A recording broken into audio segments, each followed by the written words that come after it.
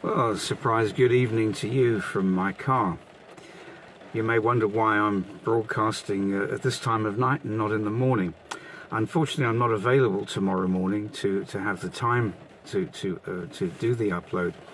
So I thought what I've got I'll share with you tonight. And I was inspired actually by the fact that my wife uh, visits the Anglican Church on a Sunday morning, and uh, I don't go, I must be really honest. And uh, she was uh, listening to Isaiah chapter 52. But uh, they didn't actually expound on it. I know those of you that know the Anglican Church, maybe if you're in America, it'll be the Episcopal Church. Um, it's a very set service. You go in and you have uh, your hymns and your readings and your various prayers.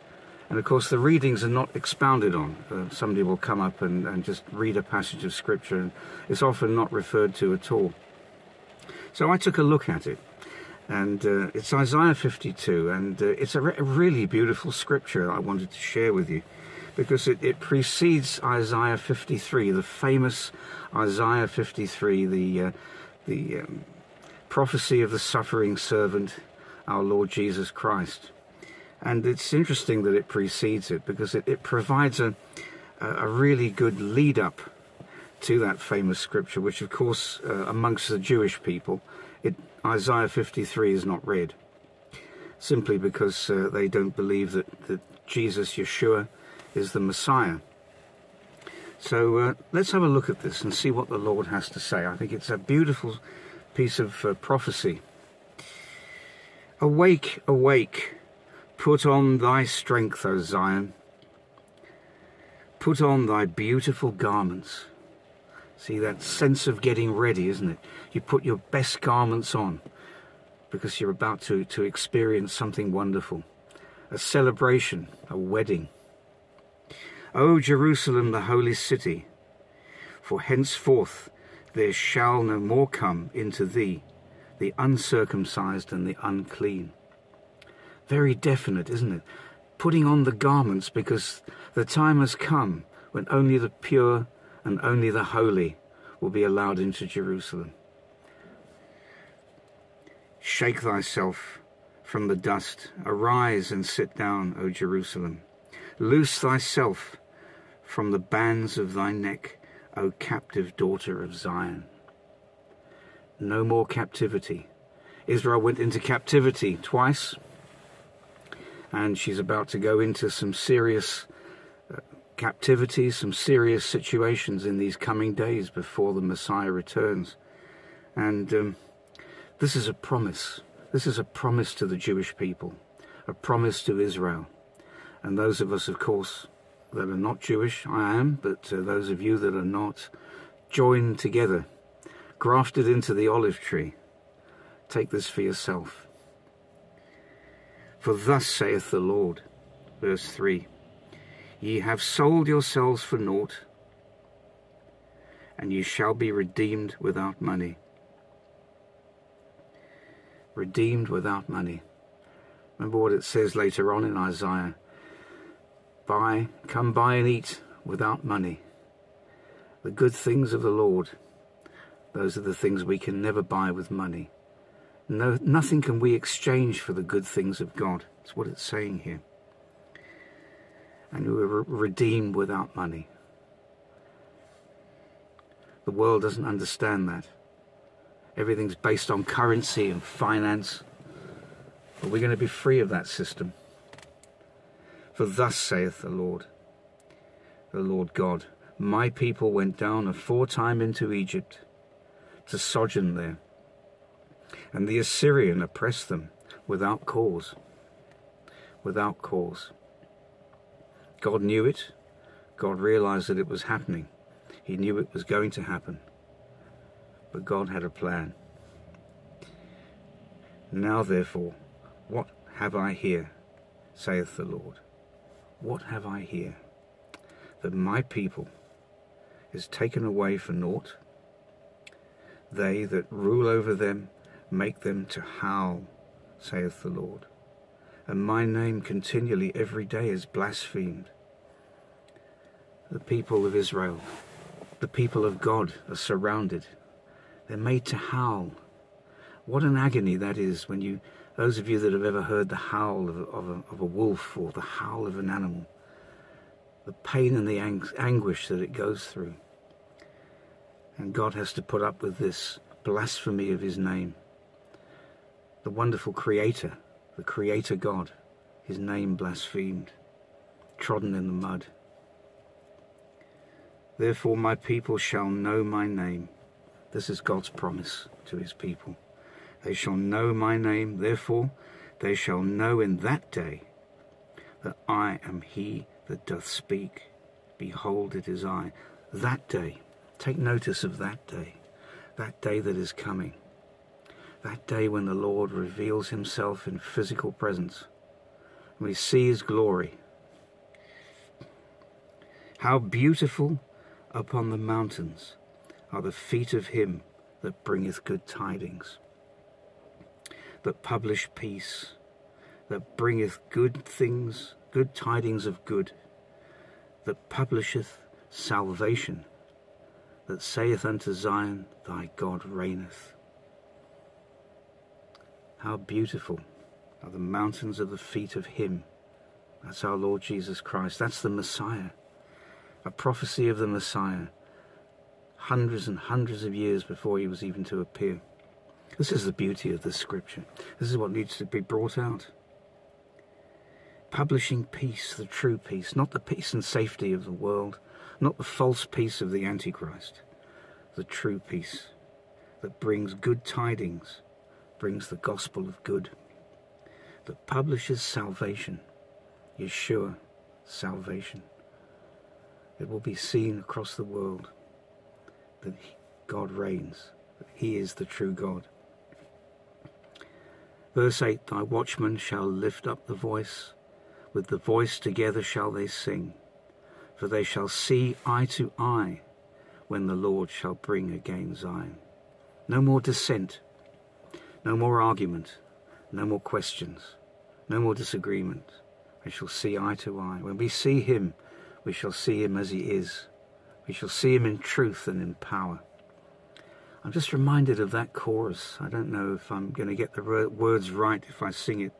Um, I think it went like this How lovely are the mountains are the feet of him who brings good news, good news, announcing peace, proclaiming news of happiness.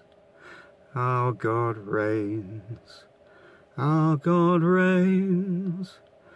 Our God reigns, our God reigns,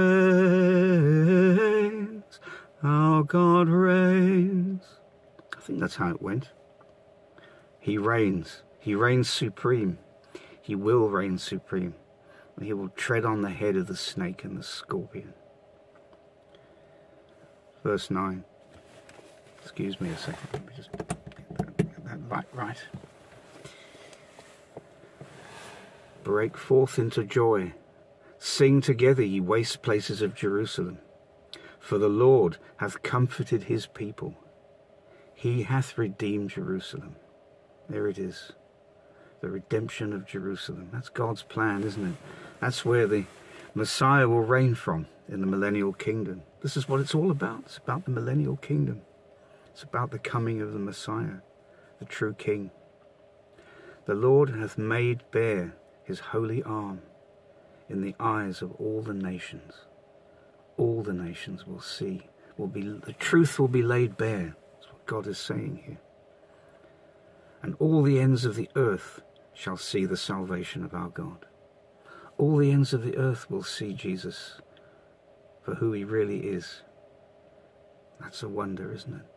No corner of the earth will be darkened. There'll only be light.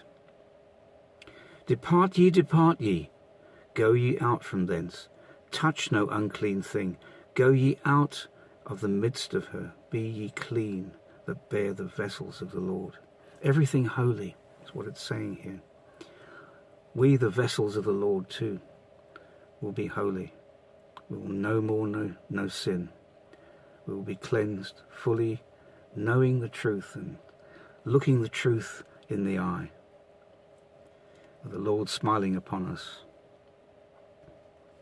Verse 12 For you shall go, you shall not go out with haste, not go out by flight, for the Lord will go before you, and the God of Israel will be your rearward. God going before, God going behind, completely surrounding us. He goes before us, doesn't he? He encumbrances around all, all of us. What a wonder that is.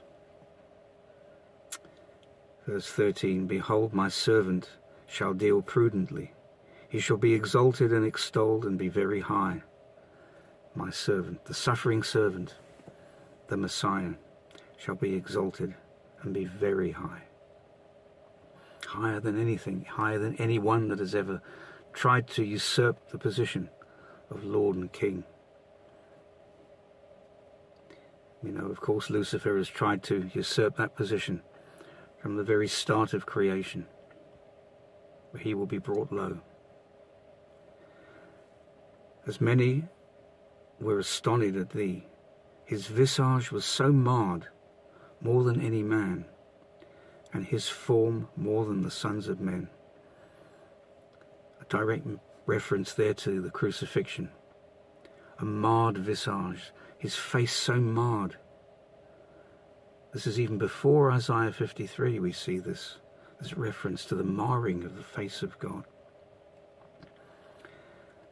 And so it goes. And here's the atonement. Verse 15 So shall he sprinkle many nations. He'll be sprinkling with his blood many nations, many that come up out of those nations that will repent and believe the gospel. The kings shall shut their mouths at him. For that which had not been told them shall they see. The gospel goes out to all corners of the earth, as it says. Jesus said, This gospel shall be preached to all nations, and then the end will come. And that which they had not heard shall they consider. Then the chapter goes on to, to Isaiah 53, how the Messiah grows up like a tender plant. And it mentions there again that he has no beauty that he should be desired, but that inner beauty, that beauty of the Spirit, which is now, of course, available to us. And that's the wonder of it all. So um, I just commit that scripture to you tonight and uh, say to you if you're feeling down, if you're feeling a little hopeless, if you're feeling a little despairing, if you're in the UK and it's night time, it's just been raining here actually now, and um, whatever circumstance you're going through, know this the salvation is being published, the Messiah is coming, deliverance is on the way, and we must hold on. But it will be tough at times, but we're called to endure to the end, and we will be saved. And no one and nothing can pluck us out of his hand. And all the nations will see the salvation of our God. I'll see you on Tuesday morning and have a blessed evening and a blessed day tomorrow.